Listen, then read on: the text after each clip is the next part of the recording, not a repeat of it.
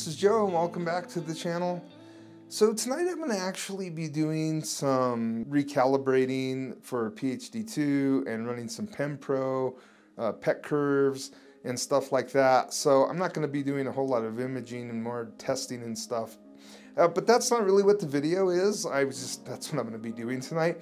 The video really is is that um, I was approached by my good friend Mike Asbury from Virginia and he wanted to do a collaboration with me. And he approached me uh, in the middle of January, which right after I got my mount, and he wanted to know if I wanted to do the headphones nebula. And I had never shot that before, so I thought, hey, why not? Um, I'll check that out. And so what I was doing while I was testing my mount, I was actually imaging the headphones nebula. It was high up in the sky uh, near the horizon. And unfortunately, because of that, and when I first got my mount, my Dec wasn't quite right, and so I was getting some little horizontal stars. But it actually turns out that Mike uh, wasn't completely collimated. He had got the OCal camera that uh, he saw on AstroQuest 1's channel. Kurt had done a video on it, and it looks really good because you could collimate in the middle of the day, but unfortunately he didn't. Re- something happened. I'm not sure if it was the camera or or what it was, but it, he followed all the instructions and he thought he had a really good collimation, and then I guess he didn't. So he had some issues. I had some issues, and together we actually still put our data together. But I'm going to go over that in a bit. Uh, I'm going to get started moving my scope around and stuff while I'm talking, but. Uh, overall, I think it came out really good. And so I wanted to go back and I, I, wanted to do a video on it because I thought that it was worthy of a video. The image came out pretty good in my opinion. I haven't seen a lot of headphone nebula images. I don't really see many at all. So I really thought, hey, this kind of goes with the incredible image uh, nebulae you're not imaging kind of thing, but um, also a collab, and so that's really cool and I'm going to go over all the gear that I'm going to be using. Uh, I'm going to be, well, that I used because I've already actually taken all the images. So we're kind of going back in time about two weeks while I was doing testing on my mount. But what I was, I was still using all the gear that you see here, the 294 MM Pro camera, uh, the Astrodon filters, and a Chroma O3 filter for the O3. Now I did mine in HOO, and, I, and so did he, so we only had two sets of masters to worry about, which made it kind of nice. Um, I've also got uh, the Celestron OAG and the 0.7 reducer, which brings my focal length to 1422 millimeters, and I was using the Edge HD8, which I have on the mount now, and of course the CEM120 mount. It just at the time was broken and now it's fixed. so uh, it was a challenge to, to get everything, but but it was a it was a good challenge, and I still got some decent data, good enough to make a pretty decent image, I think. So I'm to go over all of Mike's gear as well.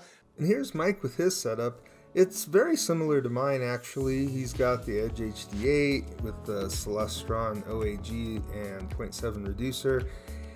He's riding on top of an EQ6R Pro, but the big difference that he has compared to me is that he's got the ASI 2600 MM Pro, which is a much nicer camera.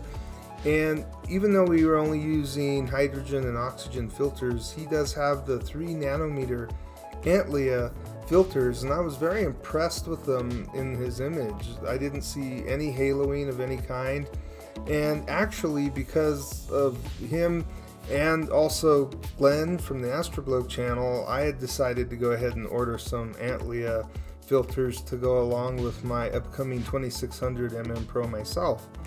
So I wanted to just a shout out to Glenn and also thank you Mike for uh, showing me that these filters are really nice filters. I appreciate that. You could also see that Mike has another rig in the back. I believe it's a Z61 and so he uses that for his wide field while he uses the Edge HD for more narrow work. The Headphones Nebula lies pretty much northeast of all of the normal winter targets. As you can see here in Stellarium, uh, most of the winter targets are right around in this area here, and so it's off a little bit to itself. And we're just going to zoom in. And we have to zoom in quite a bit because it's a very low magnitude and very small target. And it's in the Lynx constellation. It's about 1600 light years away. And I believe that the star that's in the center is only got a magnitude of 16.8. So it's a very, very dim star. So just going to jump in PixInsight real quick. I wanted to show you the masters that Mike sent me. Here's his uh, Hydrogen Alpha. And it's pretty good. He's using the 2600 mm Pro on his Edge HD. And then here's his Oxygen 3. So we got some pretty good data and some pretty good detail in here. Again, it's a it's a very small target, but it's it was great to work with. And his stars, he's even though he was out of collimation, his stars don't look too bad at all, and much much easier to fix than than the issues that I ran into. Um, so we'll just put those aside, and I'll show you what I came up with.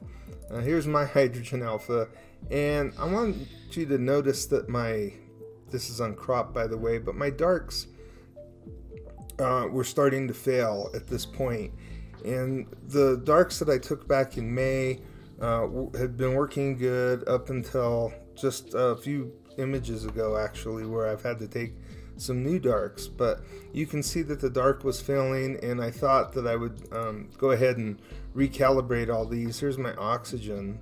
Uh, and because of the meridian flip, I've got this on both sides now.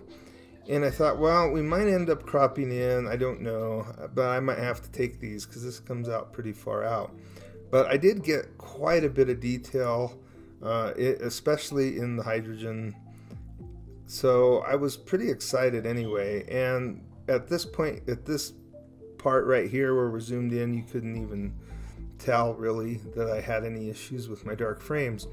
So I went ahead and just put them together for fun to see what we came up with uh, without redoing my darks. And this is our hydrogen alpha.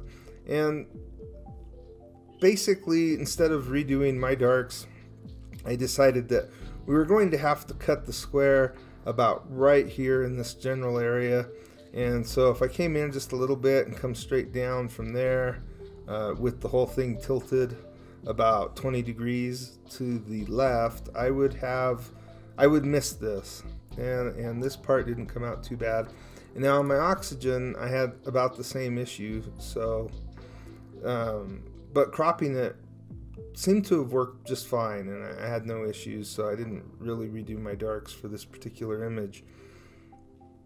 But these are just some of the things that you run into when you're doing collaborations, and then uh, everybody's got a little issue here and there, and it just all kind of compounds on you. Um, I'm really liking this O3. I really love the the detail. Uh, we got, for lack of a better word, the shock waves from the from the uh, star all the way out past here and around this area here. And uh, I thought that was really cool that, that we were able to get that much detail, especially in, in the oxygen. So I hope you liked this video. If so, please go ahead and hit that like button. And don't forget to subscribe if you haven't already. I'm going to leave a link in the description below to Mike's Instagram page. Uh, he doesn't have a YouTube channel, but he's got a really good and interesting Instagram profile, so I I'm sure that he would love to see more visitors to that. And uh, we'll see you in the next video.